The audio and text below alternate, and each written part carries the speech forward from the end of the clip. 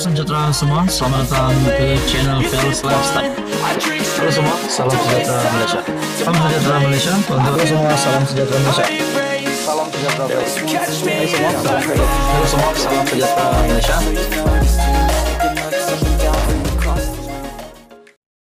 Halo semua, salam sejahtera Malaysia. Selamat datang ke channel Fearless Lifestyle.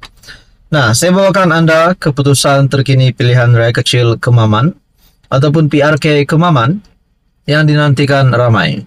Keputusan PRK Kemaman yang kita dapat lihat calon daripada Barisan Nasional ataupun mewakili Kerajaan Perpaduan PHBN yang menentang Dr. Samsuri ataupun MB Terengganu calon daripada PN PAS. Nah, kita dapat melihat PN PAS yang mendahului di dalam keputusan tidak rasmi.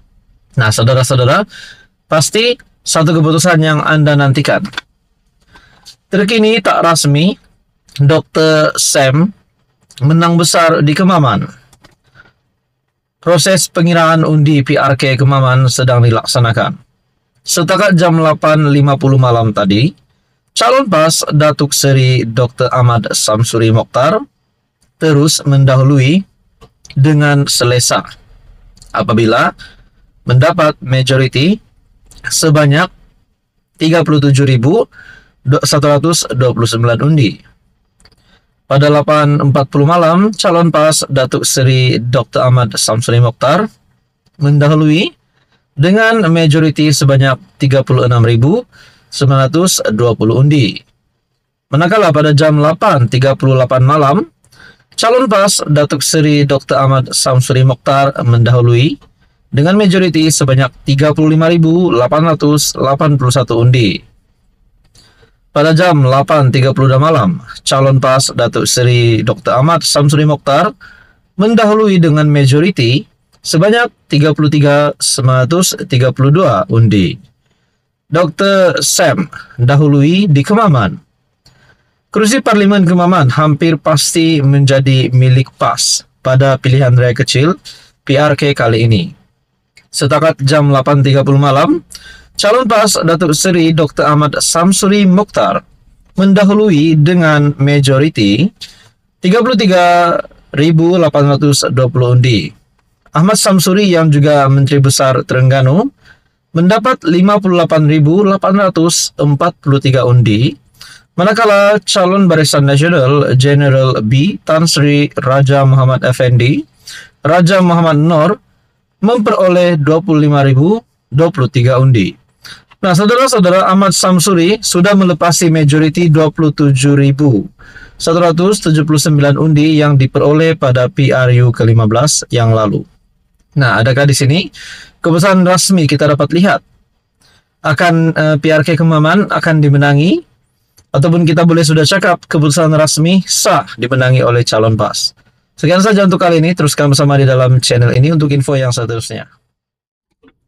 Halo semua, salam sejahtera Malaysia. Saudara-saudara yang amat dihormati, tuan-tuan dan puan. Sekalung ucapan tahniah, ribuan jutaan, bilion ucapan tahniah kepada calon PAS ataupun calon daripada Perikatan Nasional, Dr. Ahmad Samsuri Mokhtar, merangkap Menteri Besar Terengganu, merangkap calon Perikatan Nasional PAS yang dihantar oleh Perikatan Nasional ataupun PAS untuk bertanding pada pilihan raya kecil Kemaman. Dah lebih 30 ribu lebih undi majority yang berjaya diperolehi oleh calon daripada PAS Perikatan Nasional setakat uh, jam 8.50 malam tadi. Nah, ucapan tahnya kepada Dr. Sam, kita boleh lihat bahwa majority sebegitu besar amat susah untuk dikejar oleh Barisan Nasional. Kita mungkin boleh kata uh, keputusan rasmi, walaupun uh, kita boleh sudah sah kita boleh lihat kemenangan berpihak kepada Perikatan Nasional PAS. Nah, proses kiraan undi saya jangka akan selesai tidak lama lagi. Dan saya boleh jangka juga kemenangan sudah pasti kepada PS, uh, eh, PN dan juga PAS. Nah, saudara-saudara, yang menjadi persoalan, adakah keputusan yang pernah berlaku di Kemaman pada pilihan raya umum ke-15 yang lalu. Yang di mana kerusi Kemaman dimenangi oleh calon PAS juga ataupun dari Perikatan Nasional. Dimenangi oleh calon uh, eh, PN PAS tetapi dibatalkan pula pada pilihan raya umum ke-15. Sah dibatalkan dan akhirnya pilihan raya kecil Kemaman diadakan semula. Dan kita dapat lihat Menteri Besar Terengganu sebagai calon PAS yang baru dihantar untuk bertanding untuk merebut semula kerusi Parlimen Kemaman itu dilihat PAS PN mempunyai harapan yang cerah untuk mendapatkan semula kerusi itu. Walaupun kemenangan yang lalu telah dibatalkan disebabkan rasuah.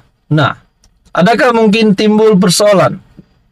Adakah kemenangan NB Terengganu Dr. Sam ataupun mungkin Dr. Sam Ahmad Samsuri Mokhtar kemenangan beliau pada PRK Kemaman kali ini adakah boleh dibatalkan? Nah, setakat ini belum ada keputusan apa-apa. Uh, keputusan pembatalan. Sedangkan sekarang kita dapat lihat baru saja selesai PRK Kemaman pengun, uh, proses peng, uh, pengiraan undi. Takkanlah pula tiba-tiba nak batal. Sebab proses untuk membatalkan itu perlulah ada competition, perlu ada saksi dan terutamanya perlu ada bukti. Kenapa dibatalkan? Nah, kalau ada kata um, kemenangan Dr. Sam dibatalkan karena rasuah itu tidak benar. Belum ada apa-apa maklumat ataupun belum ada apa-apa butiran yang menyebut berkenaan perkara itu. Apa pun saya mengucapkan tahniah kepada PAS PN yang mendapatkan semula kerusi Parlimen Kemaman yang sudah berjaya direbut pada pilihan raya umum ke-15 yang lalu, tetapi dibatalkan kemenangan itu dan akhirnya sekali lagi PAS dan PN membuktikan bahwa kerusi itu memang layak untuk mereka menangi. Nah, saudara-saudara, tonton dan bapak, apa komen Anda? Teruskan bersama di dalam channel ini untuk info yang seterusnya. Jangan lupa tekan butang like, share, dan juga subscribe.